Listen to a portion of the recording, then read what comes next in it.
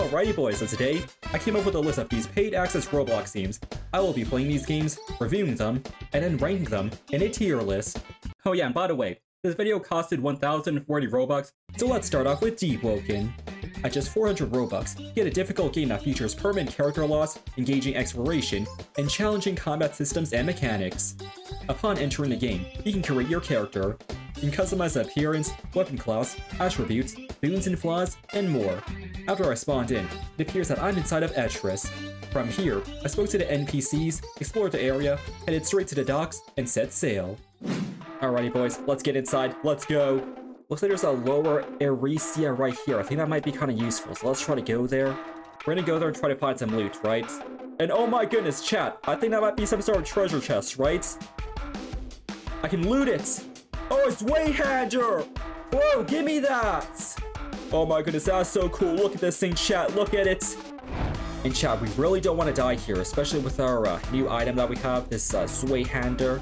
Also, if I'm pronouncing this thing wrong, I'm very sorry. I low-key think I can take one of them on, only one of them at, like, one at a time. Yep, he spotted me. Okay, this is good. This is good. I can bait him out in a heavy attack. Nice! Nice! Good night.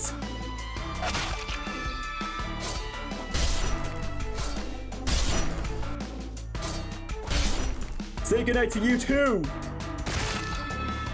And okay, this is already a lot better than my last gameplay, because uh, I'm actually killing them.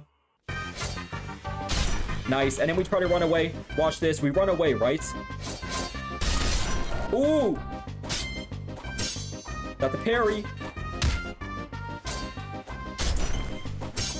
Got the parry! Please die already! Got the parry, please! Thank you! You scum! Uh, yeah, now you're dead. Oh my goodness, my willpower has potential, guys.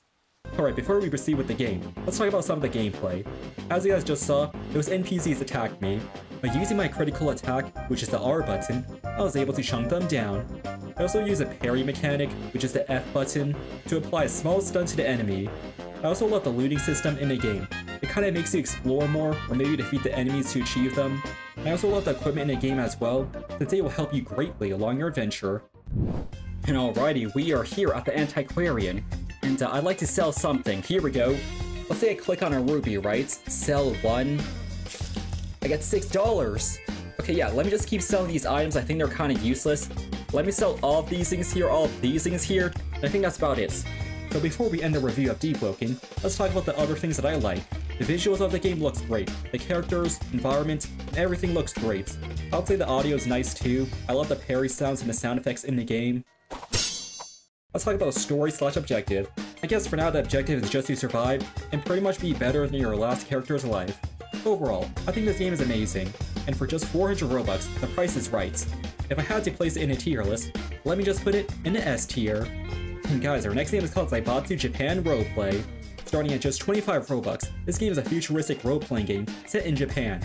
Upon joining the game, you're instantly brought into the world.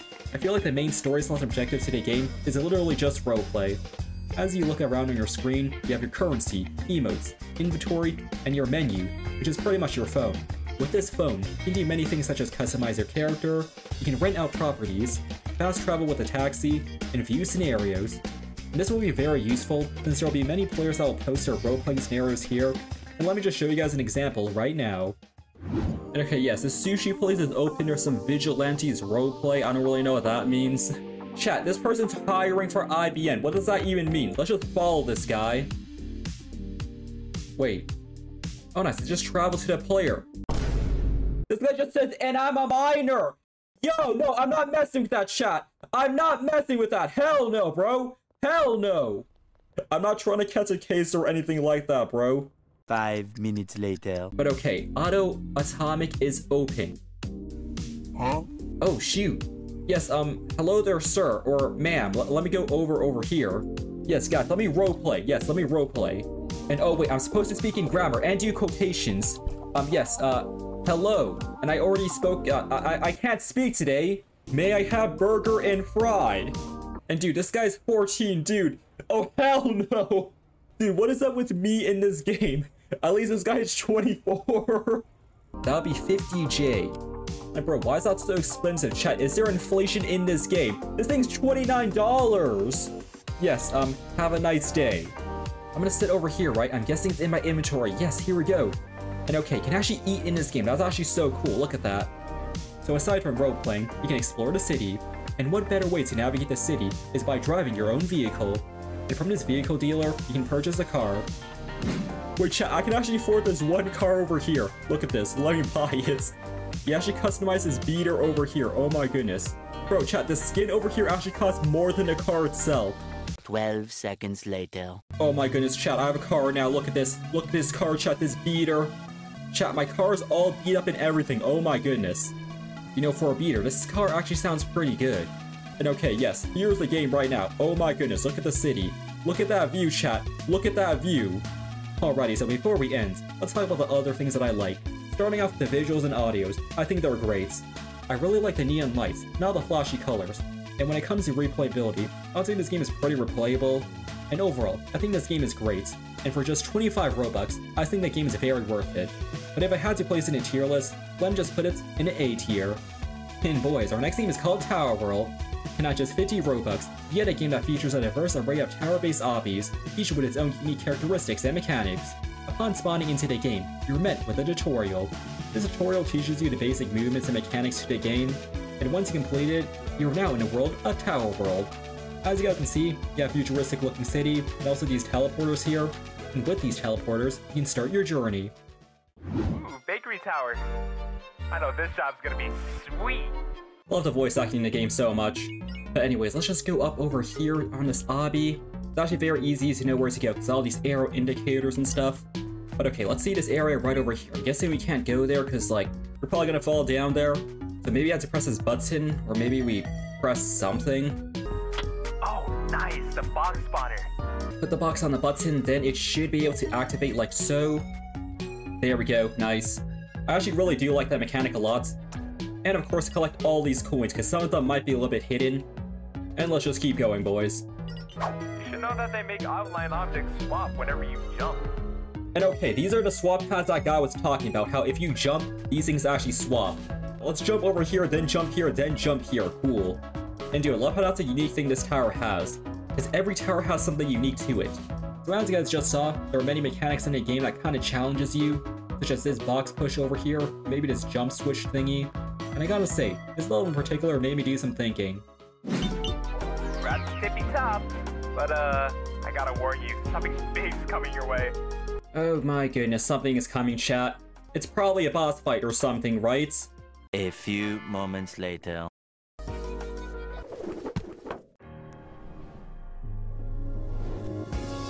And there he is, the Cake Master. Wonder what this guy's mechanic is. Oh, what? Okay, I was not expecting some random thing right there. Let, us try to dodge that. And uh, what is this? I, am pretty sure there's like some sort of mini obby we have to complete, and then we uh we click that one button there. Nice, and takes one damage.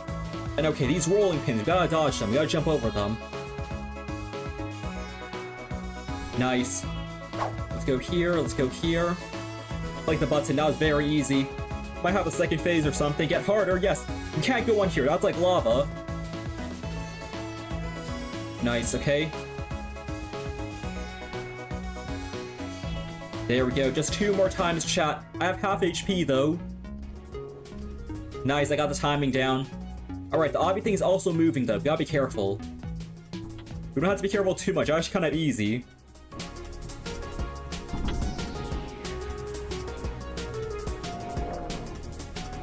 I think we did it, chat. We did it, boys. Let's go. And that's a bakery tower. Dude, that was actually a really good tower. I like that a lot. And just like that, we completed the game. Me personally, I really love how the game looks. Compared to other tower games on Roblox, this thing is definitely next level. As for the game's difficulty, I'll say the game isn't too difficult, and if you're into obbies, this game will be very easy for you. And for just 50 Robux, I'll say this game is very worth it. If I had to rank it in a tier list, well let me just put it in the A tier. And boys, our next game is called Blackout Revival. For just 250 Robux, this game is a dynamic looter shooter where you scavenge, adapt, and engage with tasks in an evolving landscape. So once I joined the tutorial, it taught me the basic things of the game. It introduced me to the looting, the movements, the lockpicking, using weapons, and more. After paying the fee for the early access, I got into the game. And okay, I'm guessing this is the game. I'm currently uh, force fielded. There's also a guy all the way over there. I also see another player over here. Maybe it's some sort of NPC. Yes, let me talk to you. Oh, he's like an arms dealer. I think it's pretty nice, but obviously I'm broke. I have nothing at all. Okay, you know what? Whatever. Let's just go outside, try to like scavenge for some stuff, like loot stuff. Yes, this thing right here. Oh! I can't tell if I'm being shot at or something. Yo, are you okay? Oh, this guy killed him! Oh, hell no, bro. Hell no. I'm looting in this game. Hell yeah. Nice lock picking. Dude, honestly, lock picking this game is actually so fun. But like, bro, if there's gonna be like some PvP action, I might be cooked, because I'm actually kind of bad at PvP. But we have two good weapons. Oh my goodness. Okay. Yeah, G17. We're gonna put everything else in our, in our inventory right here. Two seconds later. Hello, motherfucker. Oh my goodness, dude, I'm looting this guy's money. Dude, I feel kind of bad for doing that, but you know what? Uh, I don't care. Also, who's that guy right there? Um, excuse me, sir. These people are all NPCs, right? Bro, how much pump does that have? Oh my goodness, this guy. Dude, this guy. Hopefully nobody heard that. I'm pretty sure everyone heard that, actually. Okay, whenever you try to assassinate this person, you know what I'm saying? Like, go up behind him or something.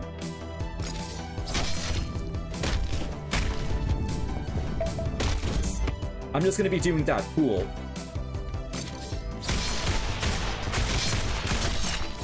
Dude! Oh, hell no! Dude, why, why are there so many of them now? That was actually very risky. I don't even know why I was there. Later. And okay, I'm currently with the fellow bacon brother right here. Hello there, sir. I actually have no clue what to do. I could kill this guy, but I really don't want to, because uh, he seems cool. Oh, and I just saw myself on my most wanted list. Maybe I should kill him, but I feel like people might try to go for me, you know what I'm saying? Also, wait, see a red bag here. That's probably a player. Thanks for the $20. Oh, who is that person? Okay, yes, that was actually someone. and if I respawn here, right, chat? If I respawn here, I actually lose everything. I dropped 200 cash and 8,000 valuables. Oh my goodness. So yeah, that was Black Revival. And let's start off with a story slash objective. At the moment, I think the main objective is just to scavenge, and of course survive. As for the visuals and audios, I think it's great. I like how the game looks, and how it performs.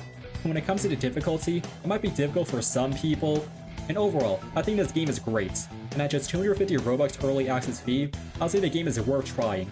If I had to place it in a tier list, let me just put it in the A tier. And boys, the next thing we have is called Gotham Shadow. At just 75 Robux, you can play as a Dark Knight. So as you load into the game for the first time, you're thrown into the tutorial, which is very helpful. It helped me with the basic controls, movement, mechanics, and interactions. Afterwards, I was in the Batcave, and it looks like my current objective was to stop crime, so I headed outside and glided my way there. Alrighty, here we go, boys. Here's where the crime is. I'm guessing this is where we fight, because all the GUIs popped up. Okay, say less. See this guy over here? Really? Ooh! These guys are using one of those uh, blue attacks. I gotta try to counter it. Watch this. Got him. Very good counter attack. Oh, what? I think he hit them both at once.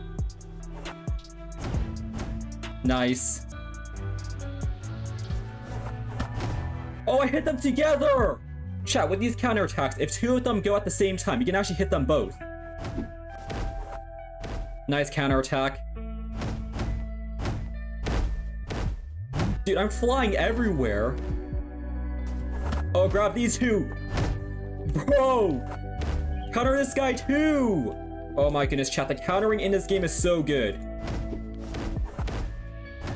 Very good counter. You don't have to be too close to the person, you just have to react to it, you know what I'm saying? Like this. Like that, see? I literally teleported to that person. And I teleported that guy too. Nice counter. There we go. I just completed my main mission, and I'm almost dead, by the way. I could have actually used one of my stim packs, but you know what? That's fine. But yo, I actually love the grappling in this game. But look at that. And what is my quest at the moment? I don't think there actually is a quest. So I'll actually click the M button. Looks like you can actually unlock a lot of suits in this game, but you need some uh, so you need some levels. But then you have this thing over here, the skill tree. This thing looks very special. Has now have zero skill points. I'm almost level two. Dude, there's so many skills you can do in this game. Oh my goodness. Damn, you definitely have to kind of grind out this game if you want like all the skills and everything like that. Now let's talk about the things that I enjoyed. Starting off with the visuals and audios. I think the city looks kind of good. And as for the audio, I think it's okay. As for the game's difficulty, I would say it's not that easy, but not too hard. And overall, I think the game is good. For just 75 Robux, I think the game is worth it. And if I had to rank the game in a tier list, let me just put it in the B tier. And finally, we have Steam and Steel. At just 240 Robux, you get a game that revolves around the operation of steam trains dating back to the 1800s. So once you load it into the game, you have some options to choose from. As a new player, I just started new, and I started a tutorial. It teaches me the basics of the game such as laying down tracks, operating a train, and selling cargo. I'm guessing we have to go to this one forest camp over here so then we can get some resources. But let's do that. Okay, we're nearing some sort of switch here, so let's actually put our throttle down. And at the moment, this switch here is actually going to the, the left side, right?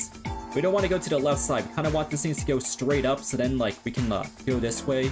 Let's go back. It should go straight. Nice. Then it's going to go to this one area here. Okay, let's apply the brakes very slowly. Alright, perfect. Let's get out.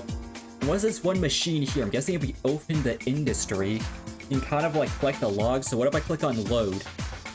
I think it literally loads one log for me or something. I don't know. It's actually loading logs at the moment. Like, I am not doing anything, chat. We're gonna load as many logs as we can. And let's go, chat. Full throttle. Dude, this train actually looks kind of cool. I'm not gonna lie. I love how you just, like, literally hang off the side of your train. That's so cute.